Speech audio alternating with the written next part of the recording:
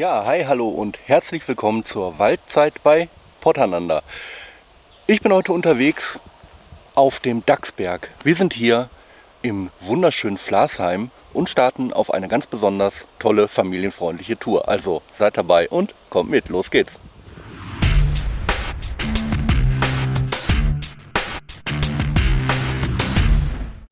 So, hier seht ihr einmal die Wanderzeichen und natürlich sind wir auch auf dem Hohen Marksteig.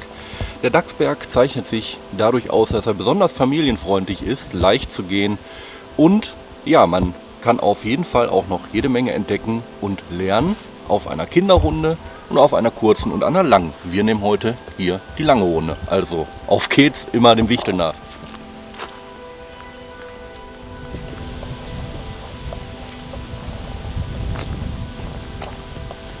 Ja, ihr habt es gerade mit Sicherheit auch gehört.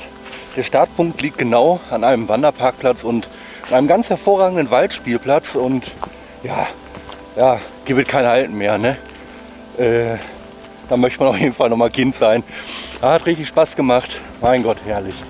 So, Sonne scheint, milde Temperaturen. Ah, jetzt erstmal auf geht's auf eine tolle, knapp 8 Kilometer lange Runde.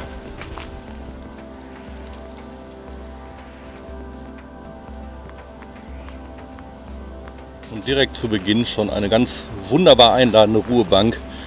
Ja, die Tour beginnt aber erst gerade. Und so machen wir jetzt erstmal ein bisschen Strecke.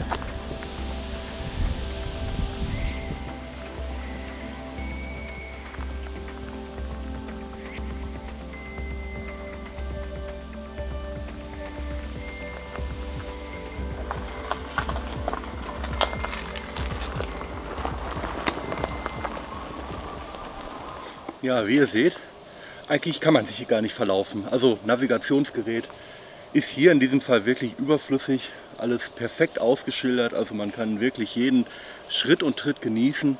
Das ist nicht immer so in der Hart, da gibt es viele verworrene kleine Pfade und Wege, genau das macht es aus. Man kann sich hier wirklich drin verlieren. Aber hier in diesem ja wirklich ganz toll ausgeschilderten Rundweg sag ich mal, Spaß für Groß und Klein. Brauchst du dich mit nichts zu beschweren. Gut, ich bin vollgepackt bis oben hin, aber auch nur, weil ich es einfach will. Ne? So, jetzt bin ich hier wunderschön ähm, so ein bisschen übers ja, freiere Feld oder so gegangen. Ja, ich war voll, also die Luft summt und schwirrt und, und ist, ist voll von Käfern. Also der Wald lebt, das macht so Spaß, ich blühe hier auf. Das tut einfach super, super gut. Weiter geht's. Komm.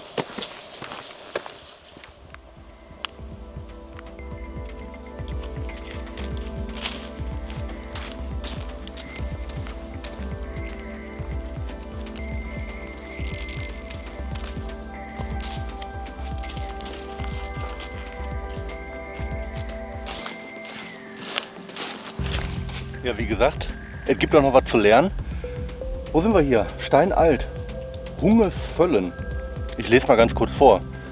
Also es wird erzählt, dass ein neugeborenes Fohlen des Bauern Hunge nach wenigen Tagen gestorben war. Wie damals üblich, wollte er es nun in seiner Waldparzelle begraben. Hier gegenüber an dem alten Grenzstein von 1651, den suchen wir gleich mal, rutschte ihm das tote Tier vom Karren. Er entschloss sich, das Fohlen an Ort und Stelle unter die Erde zu bringen. Seitdem wird dieser historische Grenzstein auch Hungesvöllen genannt. Mit etwas Fantasie erinnert seine Form sogar an einen Pferdekopf.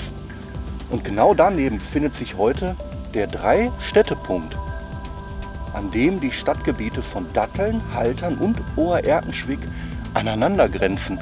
Das sehen wir uns mal an. Drei Städte, genau, und hier ist der Grenzstein. Ja, ihr habt es gesehen und ähm, wir hatten erkannt den Pferdekopf. Habt ihr die Fantasie dazu? Ich muss noch mal hingucken.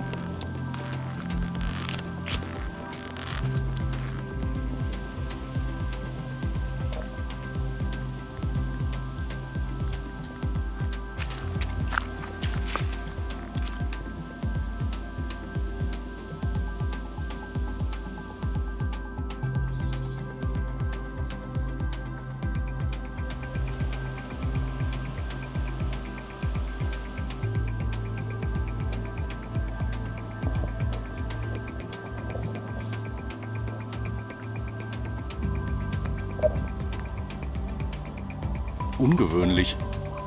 Hier stehen zwei Apfelbäume im Wald.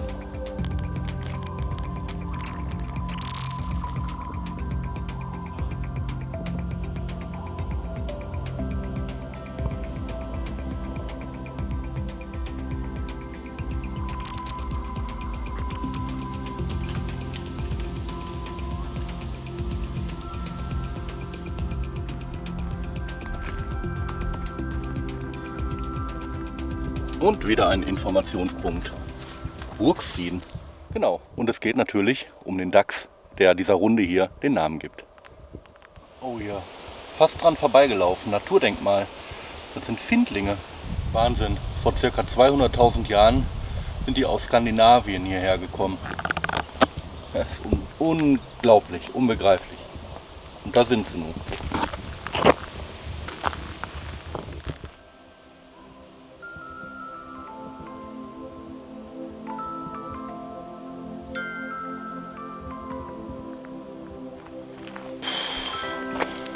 Okay, Bergwertung entdeckt, ne?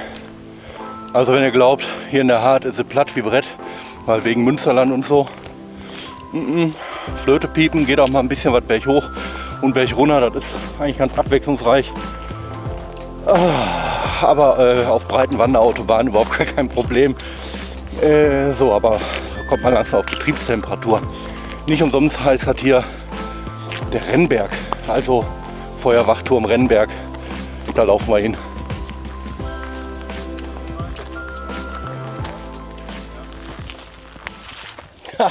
Wieder mal eine ganz nette Anekdote hier an diesem Punkt. Das Baumversteck.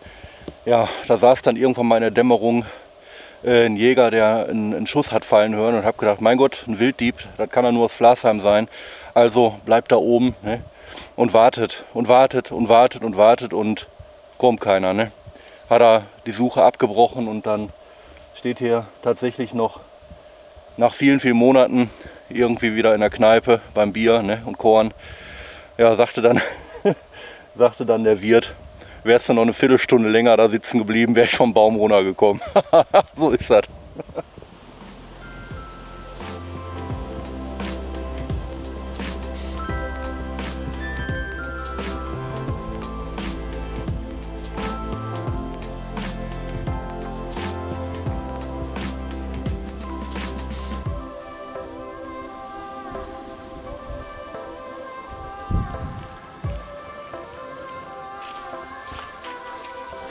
フッ。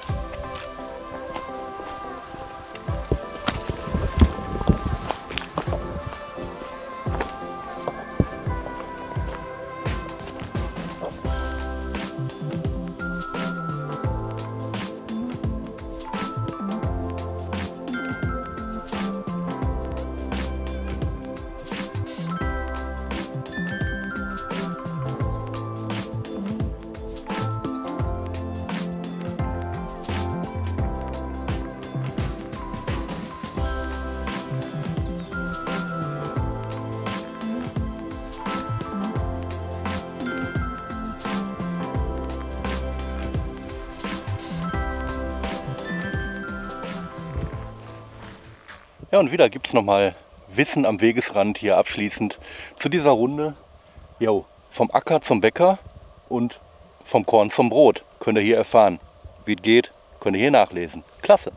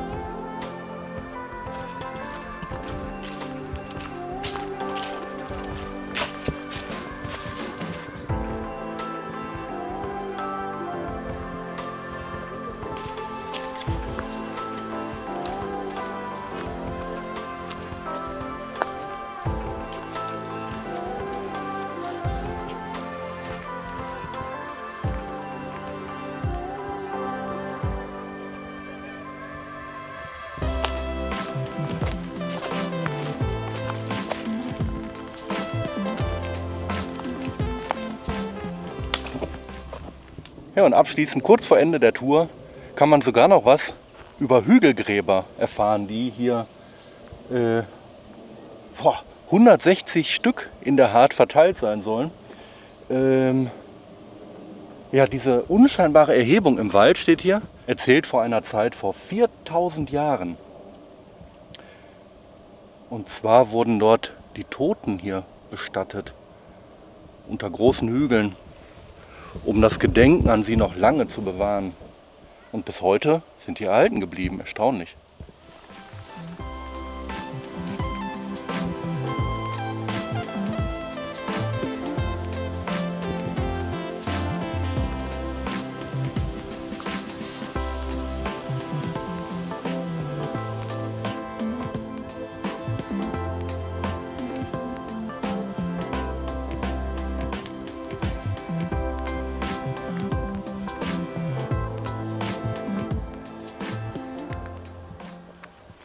So, da sind wir auch schon am Ende dieser Tour.